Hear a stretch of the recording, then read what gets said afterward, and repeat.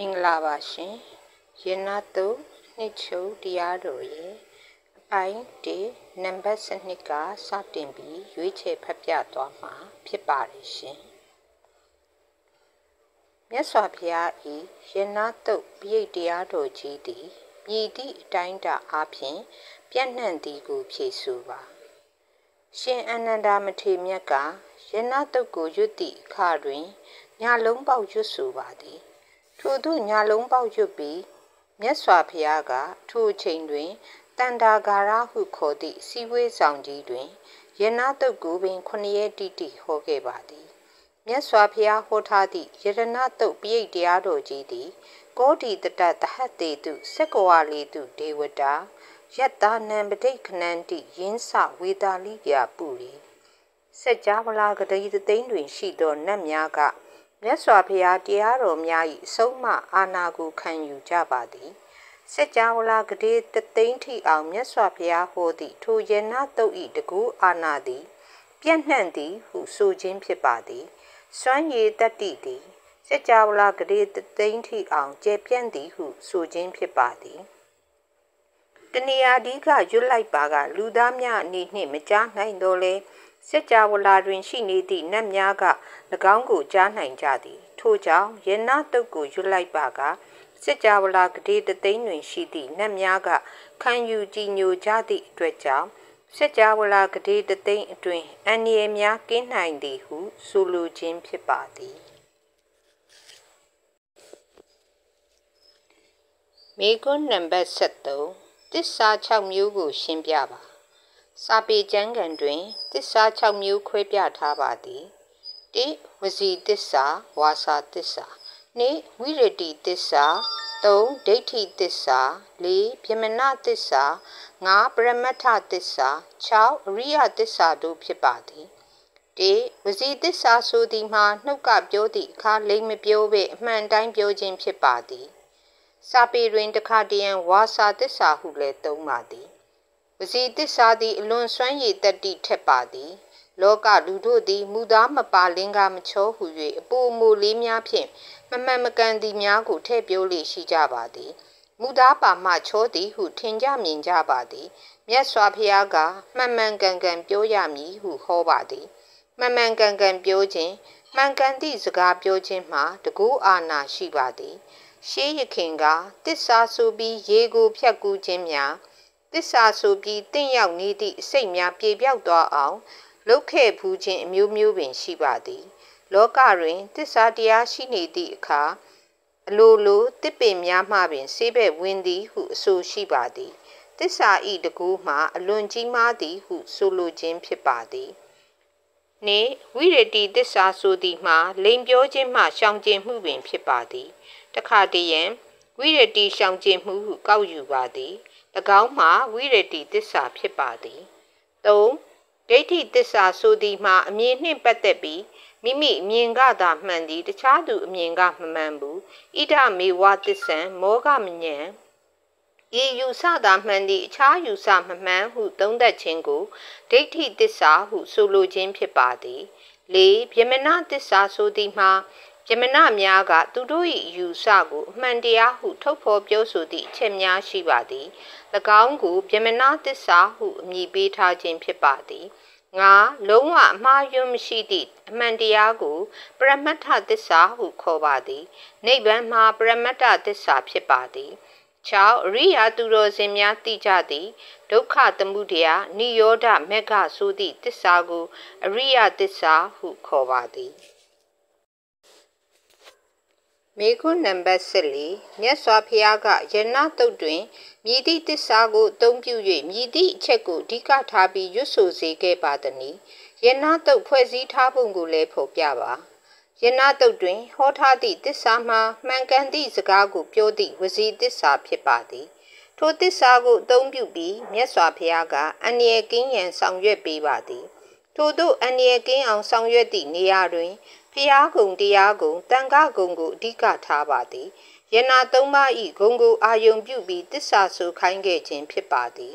ယနာတုတ်တွင် ပထမနတ်များကိုတိုက်တွန်းသည့်ဂါထာနှစ်ပုဒ်ဖျားကုံနှင့်ပတ်သက်ပြီးဆိုသည့်တစ္ဆာဂါထာသုံးပုဒ်တရားဂုံနှင့်ပတ်သက်ပြီးဆိုသည့်ဂါထာနှစ်ပုဒ်တန်ခါဂုံနှင့်ပတ်သက်ပြီးဆိုသည့်ဂါထာ၈ပုဒ်ရှိပါသည် ထိုအထဲတွင် ပထမဂါထာ၅ပုဒ်ကိုသာဖျားဟောပြီးကျန်ဂါထာများအားရှင်အာနန္ဒာကဖြည့်ဆွက်သည်ဟုအဆိုရှိကြောင်းအထကထာတွင် ဆိုပါသည်မေခွန်းနံပါတ်7ဗုဒ္ဓဂုံဖြစ်တစ္ဆာဆုံးမှုကို ရှင်းပြပါယံကိဉ္စီဝိတံဣရဝါဟုရံဝါတက်ကေတုဝါယံယရဏံပဏိတံ နာနောတမံအဋ္ဌိတထာဂတိနဣရမိဗုဒ္ဓေယရဏံပဏိတံဣတေနသစ္စေနသူဝတိဟောတုဤလူပြည်၌ဖြစ်စေနတ်ပြည်၌ဖြစ်စေအခြားဘုံ၌ဖြစ်စေနတ်ပြည်မြမပြည်၌ဖြစ်စေကမ္ဘာလောကကြီးတွင် ရှိသမျှသောယေနာများအလွန်မွန်မြတ်လှပါသည်သို့သောထိုသို့မွန်မြတ်သည့်ယေနာများထဲတွင်မြတ်စွာဘုရားဆိုသည့်ဗုဒ္ဓယေနာနှင့်တူသည့်အခြားယေတနာတစ်ခုမှမရှိပါ ထိုလောကီယေနာများထက်တာလွန်သည့်နှစ်သက်ဖွယ်ကောင်းသည့်မျက်နှိုးဖွယ်ကောင်းသည့်အခြေအနေသည်မြတ်စွာဘုရား၌သာတွေ့နိုင်သည့်အလွန်ထူးခြားမွန်မြတ်သည့်ယေနာဖြစ်ပါသည်ဗုဒ္ဓယေနာသည်အမျက်ဆုံးယေနာဖြစ်ပါသည်ဤတစ္ဆာစကားကြောင့်တရားဝါများချမ်းသာကြပါစေဟု၍တစ္ဆာဆိုခြင်းဖြစ်ပါသည်ထို့သောတစ္ဆာဆိုလိုက်သဖြင့်ဝေသာလီပြည်တွင်ကြာရောက်နေသည့်ဘေးဆိုးကတ်ဆိုးကြီးပပျောက်ခဲ့ပါသည်မေကွန်းနံပါတ်78 လောကီအဆိုအရယေရနာဆိုသည်ကို ရှင်းပြပါယေနာဆိုသည်မှာလူတို့ဤစိတ်ကိုကျေနပ်စေသည့်အရာဖြစ်သည်လူတို့သည်ရွှေကိုမြင်ပါကကျေနပ်သည်ဗရမ ्या ကိုမြင်ပါကကြောက်တံဗရမ ्या ကိုမြင်ပါကကျေနပ်ကြသည် ထို့သောကျေနပ်မှုကိုဖြစ်စေ၍ယေရနာဟုခေါ်ပါသည်ယရနာသည် လူတိုင်း၏အကြိုက်ကိုတွေးစေသည် လူတိုင်းကကြိုက်သည်လူတိုင်းလိုချင်သည့်အရာဖြစ်သည် လူတိုင်းနှစ်သက်သည့်အရာဖြစ်သည် နှိုင်းရှင်ပြီးတန်ဖိုးဖြတ်၍မဖြစ်နိုင်လောက်အောင်အဆင့်မြင့်သည် အတုမဲ့သည် တွေ့မြင်ရန်ခက်ခဲသည့်အရာဖြစ်သည်ဥပမာလန်းခင်းသည့်ကြောက်များပေါ်များနေတော်လဲရေနာဆိုသည့်ဗရမ ्या ကြောက်ကိုတွေ့ရခဲ့ပါသည်အလွန်ပင်ရှားပါပါသည်လူတိုင်းအသုံးမပြုနိုင်သည့်အထက်တန်းကြသည့်ပုဂ္ဂိုလ်များသာအသုံးပြုနိုင်သည့်၎င်းမှာလောကီအဆိုရပြောသည့်ယရနာဖြစ်ပါသည် မေကွန်းနံပါတ်19တစ္ဆာဆိုသည့်အခါတွင်အသုံးပြုသည့်အချက်နှစ်ချက်ကိုဖော်ပြပါတစ္ဆာဆိုသည့်အခါတွင်အချက်နှစ်ချက်ရှိပါသည်၎င်းမှာဒီမှန်သည်ကိုအရင်ပြောရမည်ဆိုရမည်နှင့်အမှန်ပြောပြီးသည့်အခါမိမိလိုချင်သည့်ဆန္ဒကိုထုတ်ဖော်ရမည်ဖြစ်ပါသည်လောကတွင်မြည်သည့်အခက်ခဲပင်ကြုံတွေ့သည်ဖြစ်စေမှန်သည့်စကားကိုဆိုပြီးမိမိဖြစ်ချင်တာတစ်ခုကိုဖော်ထုတ်လိုက်ပါကရနိုင်ပါသည် တစ္ဆာဆိုသည်မှာအန္တရာယ်မှလည်းလွတ်မြောက်နိုင်ပါသည်မိမိလိုသည်ကိုလည်းရပါသည် ထို့ကြောင့်တစ္ဆာ၏စွမ်းအားသည်အလွန်ကြီးမားပါသည်အခြားရာများကိုပြောဆိုပြီးတစ္ဆာဆိုပါကမှန်ခြင်းမှမှန်မည်ဖြစ်တော်လေဖျားခုံကိုထုတ်ဖော်ပြီးတစ္ဆာဆိုခြင်းမှာမှားเสียမရှိပါမိကွန်းနံပါတ်21မြတ်စွာဘုရား၌ရှိသောနိဗ္ဗာန်ဤဂုံရည်များကိုဖွင့်ဆိုပြီးတစ္ဆာဆိုပုံကိုရှင်းပြပါ နိဗ္ဗာန်ဤဂုံရည်၄မျိုးကို ရှင်းပြပါခေရန်ဝိရာဂံအမတံပဏိတံယတိစကာတကြမှုနိတမဟိတောနတေနဓမေနသမတိကိဉ္စီဣဒံမိဓမ္မေယရဏံပဏိတံဣတေနသစ္စေနသူတိဟောတုတကြမှုနိတကြလူမျိုးကတောထွက်ပြီးယဟန်ဖြစ်သို့ရောက်ရှိလာသည့်မြတ်စွာဘုရားသည်တမာဟိတောမဲ့တမာတိနှင့်တည်ကြည်မှုရှိပြီးနိဗ္ဗာန်တရားကိုမျက်မှောက်ပြုခဲ့ပါသည် ထိုနိဗ္ဗာန်တရားသည်ခရာနိဗ္ဗာန်ကိုအာယုံပြုလိုက်သည့်နှင့်တပြိုင်နက်ကိလေသာများကုန်သွားပါသည်နိဗ္ဗာန်ရောက်ပါကကိလေသာမှန်သမျှသည်အဆုံးသက်ချုပ်ငြိမ်းရသည်ဖြစ်သောကြောင့်နိဗ္ဗာန်ကိုခရံဟုခေါ်ပါသည်သောတာပတ္တိမဲ့နှင့်နိဗ္ဗာန်ကိုအာယုံပြုလိုက်ရင်ဒိဋ္ဌိဝိသိကိစ္စကင်းသွားပါသည်သကတာဂံမိမဲနှင့်အာယုံပြုမည်အနာဂံမိမဲနှင့်နိဗ္ဗာန်ကိုအာယုံပြုမည်ဆိုလျှင် ကာမရာဂဗျာပါဒဆိုသည့်ကိလေသာများကုန်ခန်းသွားပါသည်အရဟတမဲနှင့်အာယုံပြုလိုက်မည်ဆိုလျှင်ကိလေသာအလုံးကင်းရှင်းလွတ်သွားပါသည်နိဗ္ဗာန်ရောက်လျင်ကိလေသာမှန်သမျှအဆုံးသတ်ချုပ်ငြိမ်းရပါသည်ထို့ကြောင့်ခယံဆိုသည်မှာကိလေသာများအလုံး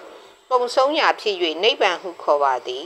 ဝိရာဂဆိုသည်မှာနိဗ္ဗာန်တွင်တက်မဲ့ခြင်းဆိုသည့်တဏှာလည်းလုံးဝကင်းသည်ဟု၍ဖြစ်ပါသည်တဏှာနှင့်လုံးဝမရှင်တွဲပါ နိဗ္ဗာန်သည်တဏှာဤအာယုံလည်းမဖြစ်ပါတွေ့တာမှုများသည်နိဗ္ဗာန်နှင့်လုံးဝဆက်ဆက်၍မရပါဝိရာကလုံးဝဆက်ဆက်မှုမရှိဟု၍ဖြစ်ပါသည်နိဗ္ဗာန်၏ဂုံရည်တစ်ခုမှအမတဖြစ်ပါသည်နိဗ္ဗာန်ကိုအာယုံပြု၍နိဗ္ဗာန်ကိုရောက်သွားလျင် အမတသည်တည်လဲမတည်တော့ပါဟု၍ဖြစ်ပါသည်ပဏိတာနိဗ္ဗာန်သည်အလွန်နှစ်သက်ကျေနပ်စရာကောင်းသည်ဟု၍ဖြစ်ပါသည် ခရံဝိရာဂံအမတံပဏိတံဆိုသည့်ဂုံရည်လေးမျိုးသည်နိဗ္ဗာန်၏ဂုံရည်လေးမျိုးဖြစ်ပါသည်ခရဝိရာဂအမတပဏိတဆိုသည့်ဂုံများသည်အလွန်နှစ်သက်စရာကောင်းသည်ထိုစကားမှန်ကန်ပါသည်ဣတေနသစ္စေနသူဝတိဟောတုဤမှန်ကန်သောစကားကိုဆိုရသောကြောင့်တရဝါများချမ်းသာပါစေဟုတစ္ဆာပြုလိုက်ပါသည်ထို့သို့တစ္ဆာပြုလိုက်သည့်အတွက်ဝေတာလီပြည်တွင်ယောဂဖြစ်နေသည့်ပုဂ္ဂိုလ်များအလုံးယောဂပျောက်ကင်းသွားကြပါသည် မေကွန်းနံပါတ်23တမာတိတရားနှင့်တူသောအခြားတရားမရှိပါဟုတစ္ဆာဆိုပုံကို ရှင်းပြပါမဲ့တမာတိအကြောင်းရှင်းပြပါယံဗုဒ္ဓတိထောပရိဝနာယိတုစိန်တမာတိမာနန္ဒရိကညမာဟုတမာတိနာတေနသမောနဝိစတိဣဒံမိဓမ္မေယေရဏံပဏိတံဧတေနသစ္စေနတုထိဟောတုအလွန်ထူးမြတ်သည့်မြတ်စွာဘုရားသည်တမာတိတရားကိုအမြဲတမ်းချီးမွမ်းပြီးပြောကြားပါသည် မဲ့နှင့်ရှင်သည့်ထိုတမာတိတရားသည်မိမိ၏အခြားမဲ့၌ဖိုဆိုသည့်အကျိုးကိုပေးပါသည်ထိုမဲ့တမာတိနှင့်တူသောအခြားတရားမရှိပါမက်စိတ်နှင့်ရှင်သည့်တမာတိစွမ်းအားသည်ကိလေသာများကိုဖယ်ရှားနိုင်သည့်တမာတိစွမ်းအားဖြစ်ပြီးဖိုးဆိုသည့်အကျိုးကိုလည်းဇက်တိုက်ဖြစ်ပေါ်စေပါသည်ဝိပဿနာကျင့်စဉ်ကိုကျင့်၍သောတာပတ္တိမဲ့ဖြစ်မည်ငကတာဂာမိမဲ့ဖြစ်မည်အနာဂာမိမဲ့ဖြစ်မည်အရဟတမဲ့ဖြစ်မည် ထိုသောတာပတ္တိမဲ့တဂဒါဂာမိမဲ့အနာဂာမိမဲ့အရဟတမဲ့ဆိုသည့်မက်စိတ်နှင့်ရှင်လာသည့်တမာတိစွမ်းအားသည်အမတန်ကြီးမားပါသည်မက်စိတ်ချုပ်သည်နှင့်တပြိုင်နက်ဖိုစိတ်ဆိုသည့်အကျိုးကိုချက်ချင်းပေးပါသည်ထို့ကြောင့်မေတ္တမာတိနှင့်အလားတူသည့်တရားမျိုးသည်မရှိပါ၎င်းမှာနှစ်သက်စရာကောင်းလာသည့်ယရနာတစ်မျိုးဖြစ်ပါသည်ဤမှန်ကန်သောတရားကိုဆိုရသောကြောင့်တရဝါများချမ်းသာကြပါစေဟုတစ္ဆာဆိုခြင်းဖြစ်ပါသည် မေခွန်းနံပါတ်24နေ့စဉ်နှင့်အမျှကြုံတွေ့လာနိုင်သည့်အန္တရာယ်များမကြုံရလေအောင်မိမိကိုယ်တိုင်တစ္ဆာဆိုသည့်အခါမြည်တို့ဆိုနိုင်ပါသည်။ယနတုတ်တွင်ဖျားကုံကိုအာယုံပြုပြီးတစ္ဆာဆိုပါသည်။တရားကုံကိုအာယုံပြုပြီးတစ္ဆာဆိုပါသည်။ထိုတစ္ဆာဆိုပုံဆိုနည်းများကိုမြတ်စွာဘုရားက နမူနာအနေဖြင့်ဟောထားပါသည်။မိမိကျေနပ်သည့်မိမိသိသည့်တရားကိုလည်းတစ္ဆာဆို၍ရပါသည်။ မိမိကြည်ညိုသည့်မြတ်စွာဘုရား၏ဂုဏ်တစ်ခုခုကိုလည်းတစ္ဆာဆို၍ရပါသည်။ဥပမာမြတ်စွာဘုရားရှင်ကိုရောမြတ်သည်စိတ်ကွေရာအရ၌၌တော်၎င်းအကုသို့မှုကိုပြုတော်မမူပါထို့ကြောင့်အရဟံဂုံတူးနှင့်ပြည့်စုံပါသည်ဤမှန်ကန်သောသစ္စာစကားကိုဆိုရသောကြောင့်တရားဝါများချမ်းသာကြပါစေမိမိရထားသည့်ဣတိပိသောနှင့်လည်းသစ္စာဆို၍ရပါသည်တရားကုံများကိုအာယုံပြုပြီးတော့လည်းသစ္စာဆို၍ရပါသည် သစ္စာဆိုပြီးတရားဝါများအန္တရာယ်ကင်းအောင်လုပ်ခြင်းဖြစ်ပါသည်နေ့စဉ်နှင့်မျှအန္တရာယ်ဆိုသည်မှာကြုံတတ်ပါသည်ထို့ကြောင့်အန္တရာယ်မကြုံရလေအောင်ထိုသစ္စာတရားကိုအသုံးချပြီးမိမိနှင့်မိမိပတ်ဝန်းကျင်တွင်ရှိသည့်တတ္တဝါများအားလုံးချမ်းသာပါစေဟုထိုပရိတ်တရားတော်ကိုရွတ်ဖတ်တရစေပြီးအတိတ်ပဲတည်တည်ဖြင့်လိုက်နာကျင့်သုံးနိုင်မှာကအလွန်တန်ဖိုးရှိပါဓမ္မမိတ်ဆွေပေါင်း ဓမ္မအသည့်ဖြင့်အကျိုးရှိရှိနေထိုင်နိုင်ကြပါစေ။